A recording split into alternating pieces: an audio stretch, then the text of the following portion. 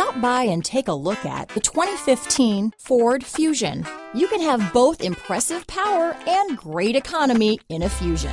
Is love at first sight really possible? Let us know when you stop in.